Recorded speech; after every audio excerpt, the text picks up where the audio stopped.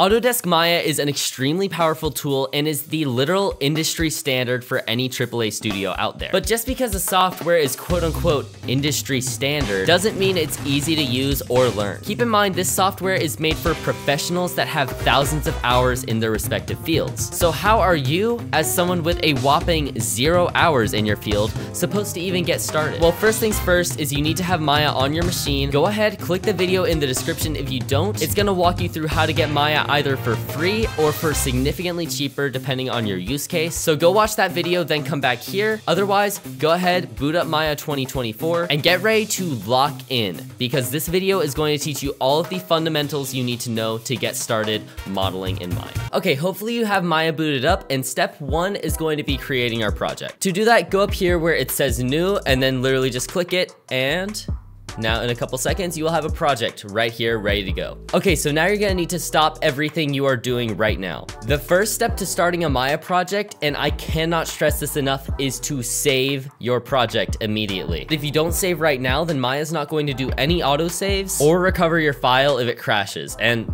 it's gonna crash, trust me. All you have to do is go up here where it says file, scroll down to where it says save scene as, and then choose where you want to save it. So we'll just save it to my desktop and we'll just name it YouTube tutorial. And now you can choose to save it as Maya binary or Maya ASCII. I, it doesn't really matter too much. ASCII produces a larger file size and it's less prone to corrupt, so I usually go with that. So we'll go ahead and save that there and now we're good to go. Speaking of autosave though, the first time you boot up Maya, you do have to automatically enable it. All you need to do that is go up to this tab right here that says Windows, go to Settings and Preferences, and then Preferences, and then over here where it says Files and Projects under Settings, Go ahead, find where it says autosave here, and then click enable. Once you set this up once, it'll work forever as long as you remember to save whenever you enter a new project. So yeah, just click enable and then decide how often you want to do. I like to do three minutes just to be on the safer side, and then click save.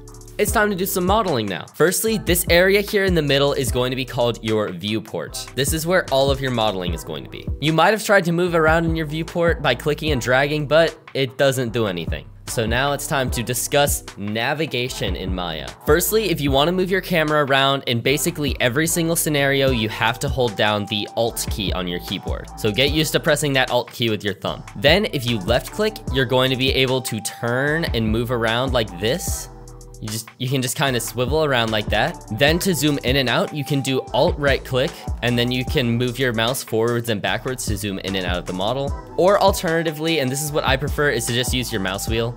It makes a lot more sense to me. And then lastly, if you just want to pan your camera around, you can hold alt and then push in your middle mouse button and then you're just kind of able to pan around like this. So yeah, just get used to those modes. You can move around like this, you can pan, and then you can zoom in and out. So try that for yourself and then come back here. Now I know what you're thinking. Where's the cubes? We're getting there, all right? First off, if you don't see these shapes up here in your hotbar, make sure you click this menu and are in modeling mode, and then you are in poly modeling out of these different submenus. So that's next to surfaces and sculpting. It's in between there is poly modeling. You've got all these different shapes here, and you can click on any of them and it'll spawn them right here in the center of your grid. So first off, if you're a little bit misaligned, all you need to do to frame into whatever you have selected is First off, select the object. You can either click on it directly or you can click and drag and then press F.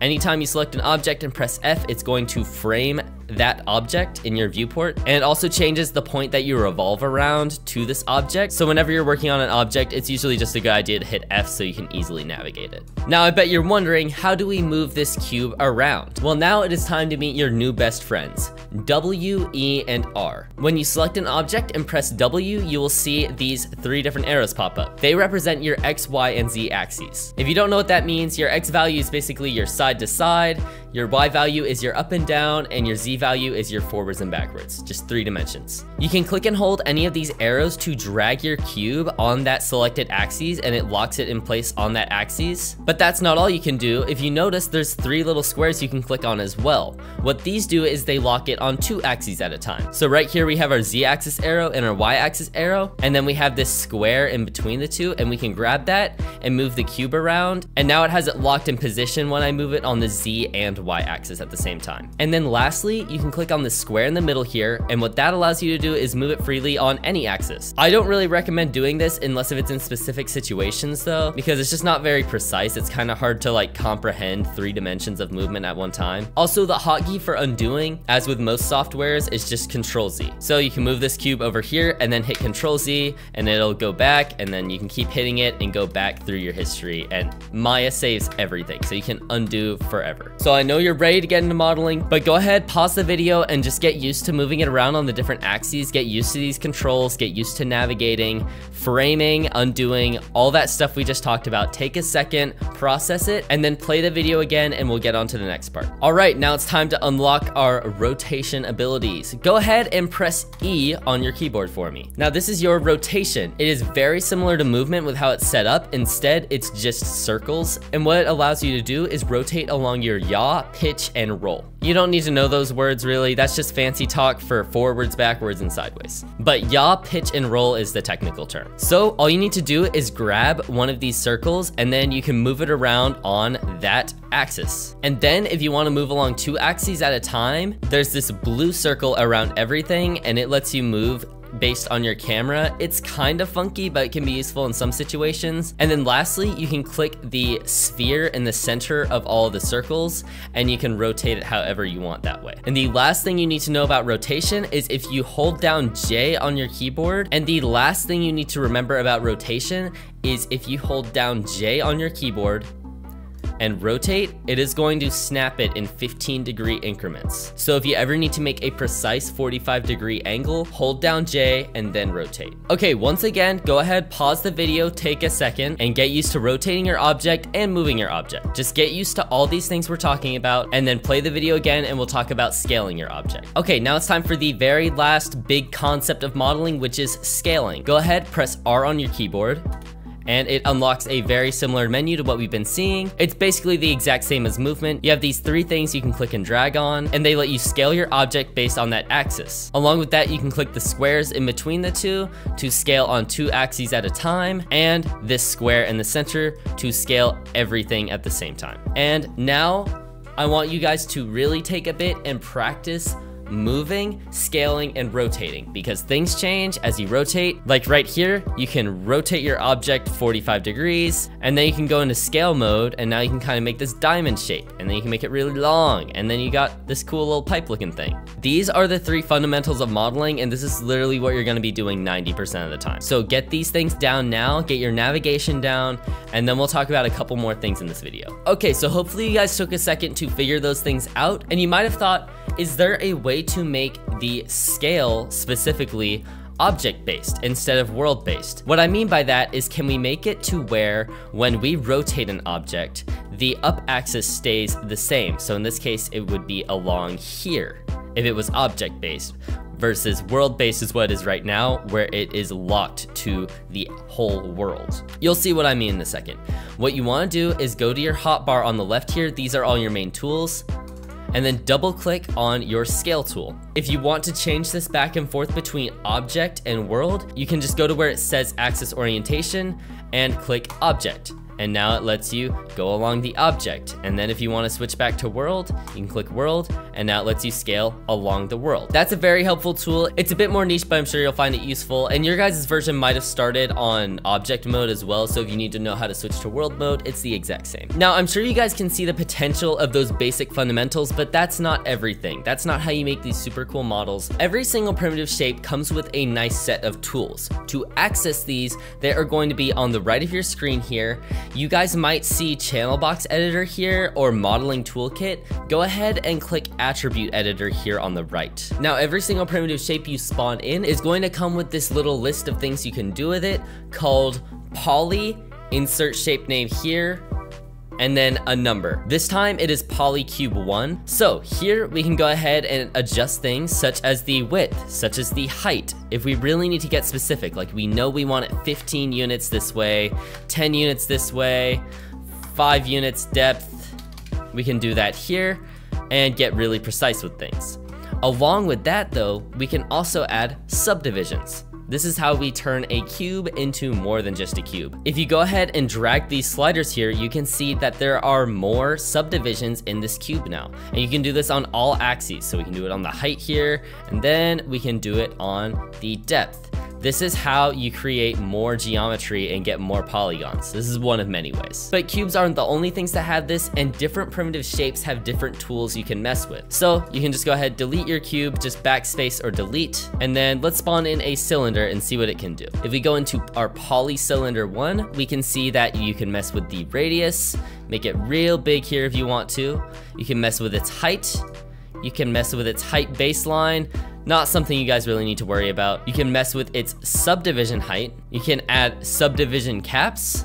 And you can make this thing really, really high poly really quick. And then lastly, we'll go ahead and look at the sphere and see what it has. Go into our Polysphere 1 menu.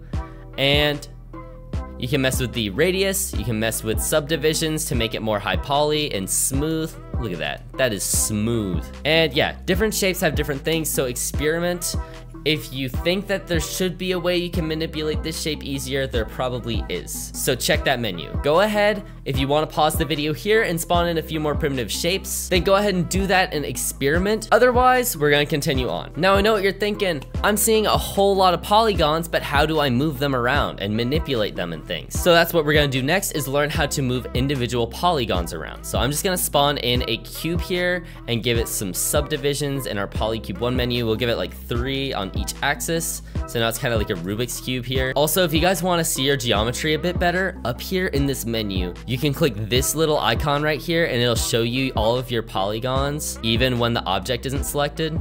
It can be useful sometimes, I just figured I'd let you know. But now I'm going to blow your mind. Go ahead, select your object and hold down right click. Maya has a very efficient hotbar. When you hold down right click, that brings up a bunch of different tools based on the context you're currently in. Right now, since we have a shape selected, we're able to go into different modes to manipulate each individual polygon. There's a bunch you can do here, but the main things that you're gonna be messing with is object mode, which is what you're in by default, meaning when you click on something, it selects the entire object. There's face mode, have your object selected, hold right click, hover over face, and release, and now you'll be in face mode. You can see you can select the individual faces here. There is edge mode, which lets you select individual edges. And then there is vertex mode, which lets you get all the way down to the individual vertices of the object. And the best part is with all of these, your move, scale, and rotate tools all still work the exact same. Let's go ahead and start in face mode. So right click your object and then hover over face and release. And let's go ahead and select this polygon right in the center here. Press F to frame your camera and watch this. Press W to be in movement mode.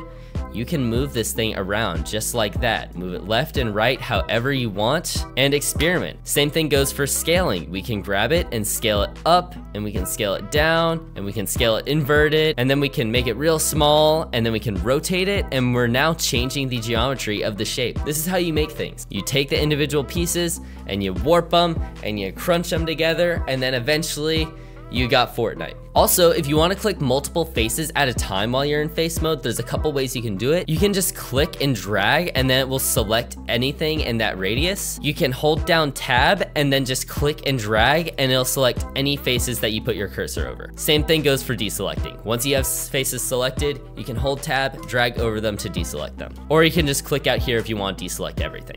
And then lastly, you can always just go the good old fashioned click one and then shift click and then shift click and then shift click and then shift click. Now, if you wanna get more precise than face mode, we can go ahead and move on into edge mode. Go ahead, right click, put your mouse over edge, and then you can grab each individual edge of the object. Once again, your W, E, and R work the exact same as move, scale, and rotate, and you are able to grab these different edges and move them out and make whatever you want. Now look at that, we have a bird, that's beautiful. Let's go ahead, we can grab this, we can scale it up, we can scale it down, we can move it, we can rotate it, make it real, really, really morphed. And then for ultimate precision, you can go into vertex mode the exact same way, hovering, releasing, and then you see all these little purple points. That's where all of your intersections are and you can move those individually. So we can click on one, hit F, in order to frame ourselves and then move this thing out get a nice sharp point here. And you can select multiple vertices at a time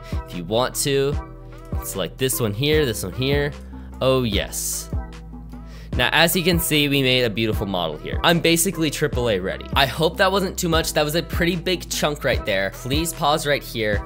Take your shape, take everything we've learned, and try and make something. It can be ugly don't make something intricate. Make like that stupid bird or something I showed you a minute ago. Once you feel a little bit comfortable using these tools and that you're not having to like refer back previously in the video, we can go ahead and move on to the next section. You should give yourself a pat on the back. That is basically how you model. Everything else is just fancy little shortcuts to make things go significantly faster. But now you know the fundamentals of modeling. Don't be scared, things get easier get comfortable with those controls, and let's go ahead and talk about something a little bit easier. You might run into situations where you really need to get a nice front view, side view, side view, top view, but maybe you really need to be locked in that position. Well, do one thing for me. Have your mouse here in your viewport and press spacebar.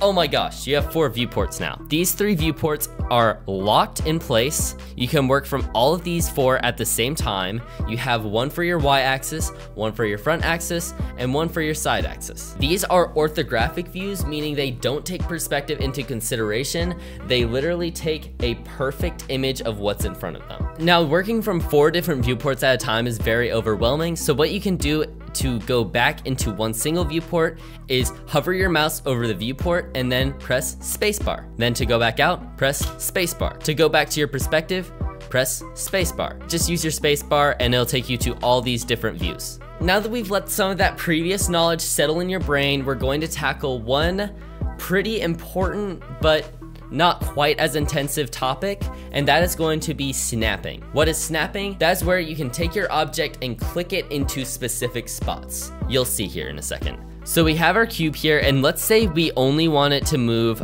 perfectly along this grid. We want this little pivot point to go from this square to this square to this square. What we can do is meet our brand new best friends, X, C, and V. These are our main three different snap modes, and they are grid snap, line snap, and vertex snap. So if you go ahead and hold down X on your keyboard, you are now in grid snap mode. When you move your object around, it is going to move perfectly along this grid. The main other important one is going to be vertex mode, and that is going to snap to any vertex.